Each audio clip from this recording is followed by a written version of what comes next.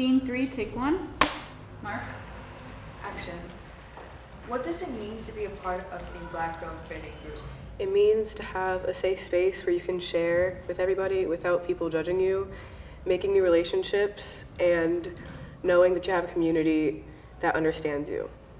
That's very good. Yeah, that's really good.